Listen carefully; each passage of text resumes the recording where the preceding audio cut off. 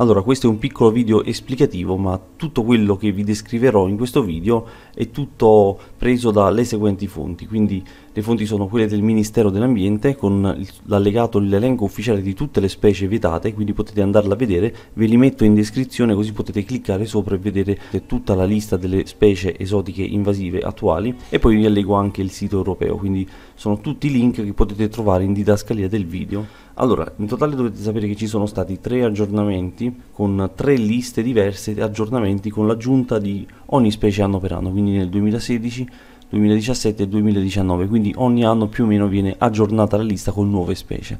Attualmente ci sono 66 specie in questo elenco che sono vietate che cosa è vietato esattamente? È vietata l'introduzione, la riproduzione, la coltivazione, il trasporto, acquisto, vendita, scambio, tutto, insomma anche la detenzione in ambiente confinato, per esempio anche le piante coltivate in acquario in realtà non si potrebbero coltivare. Questo è quello che viene riportato sul sito del Ministero dell'Ambiente.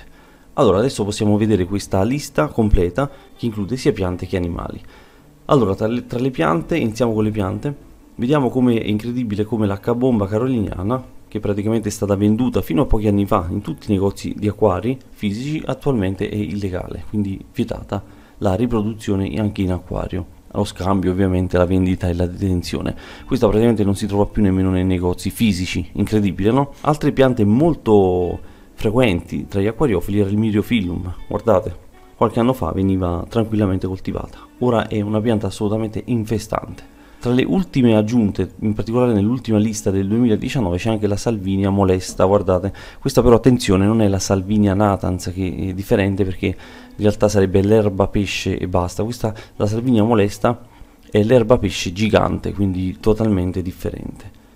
Allora, in questa lista non c'è la Pistia stratioides, però se andiamo a vedere sul sito del Ministero dell'Ambiente è possibile vedere anche tra le candidate nella terza lista e quando uscirà la quarta lista verosimilmente fa, mostrano sempre un'anteprima praticamente delle specie che probabilmente sono in, in esame, sotto esame. Tra questi c'era anche la pistia l'anno scorso ma attualmente nell'elenco non compare, quindi non è ancora considerata una pianta come specie esotica invasiva, quindi non è ancora illegale. Ovviamente se voi avete qualche informazione riguardante la pistia sarei molto contento di ricevere commenti eh, sotto al video quindi però al momento praticamente la pistia ad esempio come pianta infestante non c'è, però ci sono tutte queste attualmente, quindi sono considerate illegali. Per quanto riguarda gli animali, qua non troverete le, le, specie protette, quindi non troverete tigri o uccelli rari, trovate soltanto specie assolutamente invasive e comuni, per esempio trovate il cane procione o il procione, lo vedete?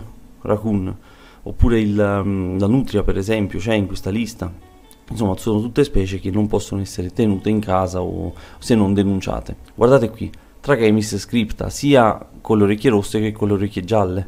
Cioè, tutta la Trachemis scripta praticamente questa veniva venduta nei negozi di acquari fino a pochi anni fa, ora attualmente è illegale. Ovviamente il possesso doveva essere denunciato già tempo prima, appena uscita la legge, quindi chi possiede una Trachemis scripta deve, averla, deve detenerla uh, con uh, ufficiale cartaceo, insomma con denuncia cartacea del possesso. Quindi come vedete sono tutte specie che potevano essere vendute, sia questa della Trachemis che delle piante, potevano essere tranquillamente vendute fino a pochi anni fa.